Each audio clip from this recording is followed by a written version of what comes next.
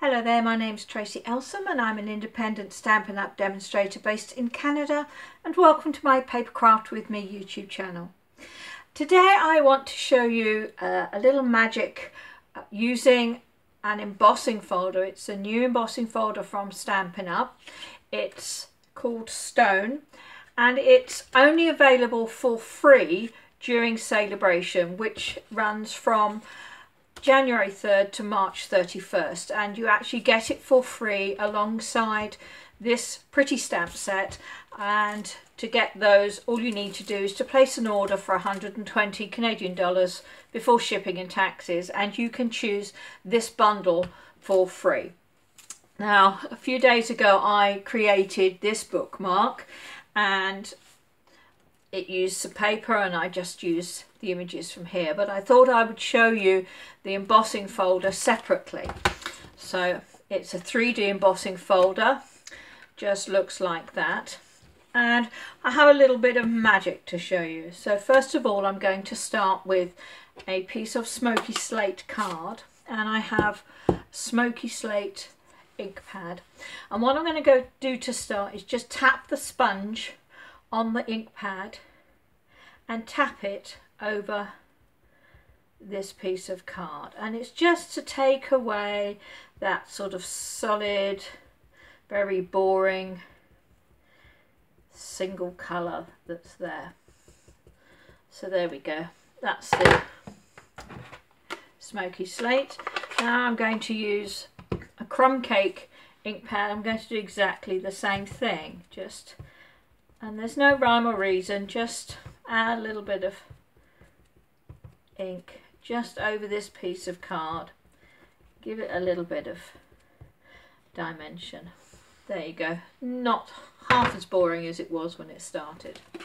Now I'm going to take the card and I'm going to place it inside the embossing folder. And if you feel the embossing folder one side seems quite smooth one side is a lot a lot more textured. Um, and you have the Stampin' Up! logo on the front. So what I want to do is to put this inside with my inked side upwards inside the folder. And because it's a random design you don't have to line it up with anything to make sure it's nice and straight. So I'm going to bring in my Big Shot machine but let's do it this way, it'd probably be easier to use. Okay, so I have a standard Big Shot platform. Because this is a 3D embossing folder, I'm going to put that directly onto the platform. And now I have the new 3D embossing plate. And this is slightly thicker than normal um, cutting plates and embossing plates because that embossing folder is thick and there's no um, plate underneath. So all I'm going to do now is run it through and I'm going to run it back. And this additional plate is available from Stampin' Up via my online store. So there we go. So there is my card. Let's open it up. And yeah, it looks, well, not very much actually. It, it, you know, you look at it and you think, okay, so what's all the fuss? So let me show you what the fuss is about. I'm going to bring my smoky slate ink pad back in and my piece of sponge. And this time I'm going to grab some kitchen paper just to stop myself from getting inky. Now this time instead of tapping on this piece of card. You can see where I've, I've done a little bit of the tapping. You can still see it. This time I'm going to rub it in little circles. And this is where the magic happens. Look at that.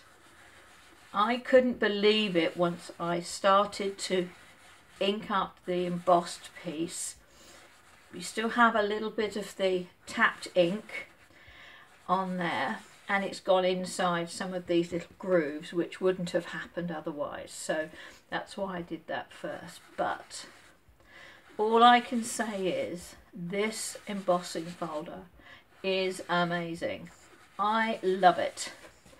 And you can see how some of the pieces are coming up a little bit darker. And I'm not doing anything special. It's just a little bit of smoky slate ink on smoky slate card. And there you have it. Look at that. Isn't that amazing?